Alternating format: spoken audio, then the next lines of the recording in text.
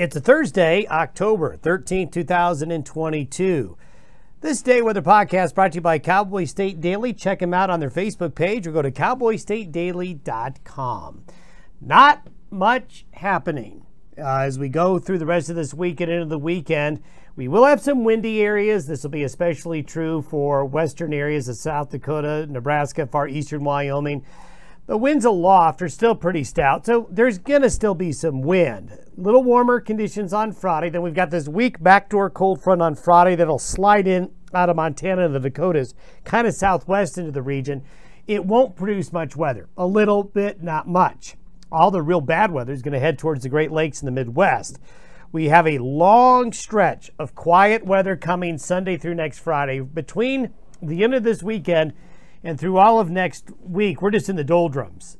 The weather pattern is stuck. We'll have a big low, big low pressure system in the east part of the U.S.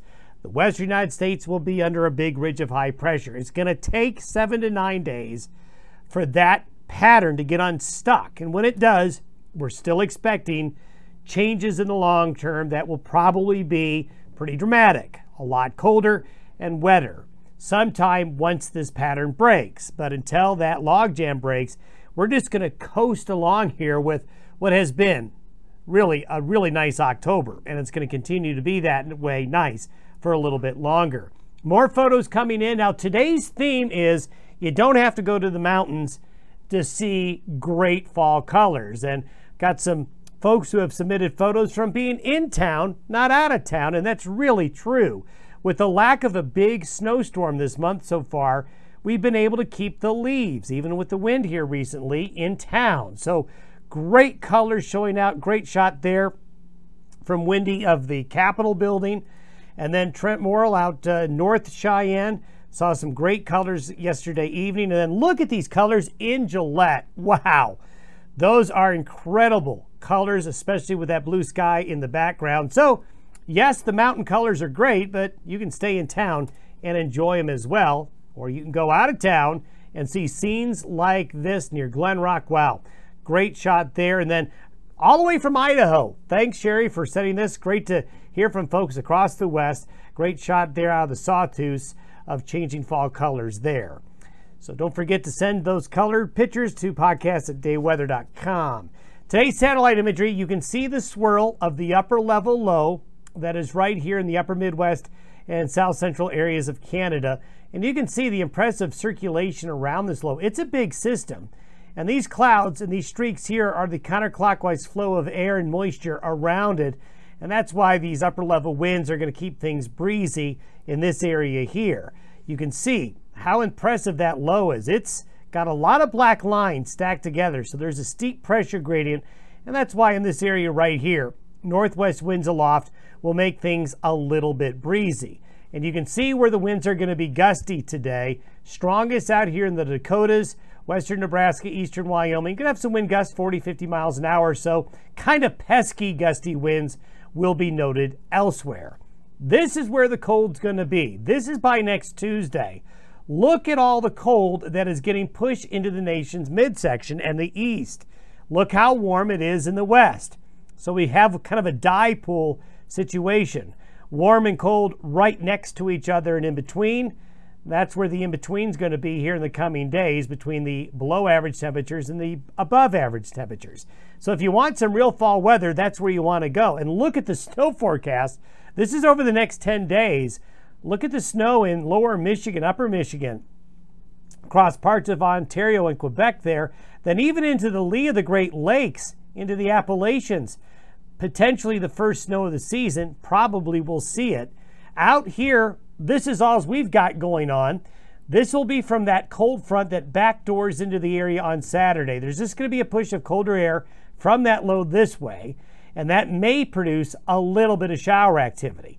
We still have an upper level low down here, pumping up subtropical moisture. So, Arizona and New Mexico continuing to get more rainfall. I'm going to talk about this part of the country tomorrow and how it's been over the last four months. It's really the most unreported weather story of the year so far.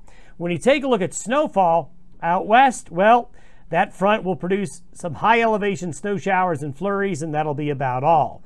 This is by next Tuesday. The deep low there is over Lake Erie, Lake Ontario there, western New York, while just this big dome of high pressure, strong high pressure is over the Rocky Mountain West. The end result will be some very, very nice weather. Now, it's not going to be too warm though, because the winds aloft are coming in basically from the north northwest. So that'll keep temperatures from getting too warm relative to averages. This is where the cold will be. These are forecasted low temperatures by next Tuesday night into Wednesday of next week. This is record cold, potential record cold in this part of the country here, the Corn Belt, going to likely be having freezing temperatures next week.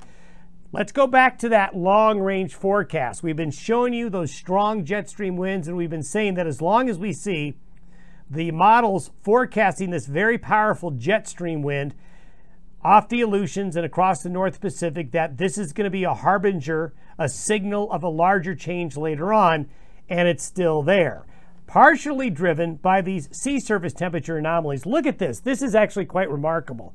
We have this intense, huge area of colder than average sea surface temperatures along the equator here. There's your La Nina. These are remarkably cool subtropical sea surface temperatures. Reverse that though, and we have above average sea surface temperatures. Now the water up here isn't really warm, but it is warmer than the 30 year average, and that stretches across also the North Atlantic. So along the equator, temperatures are cooler than normal. As you go further north in higher latitudes, they're warmer than average, and you get a big contrast, a big temperature contrast between these areas here, and that's one reason why you get these strong jet stream winds, especially as you head towards the cold season.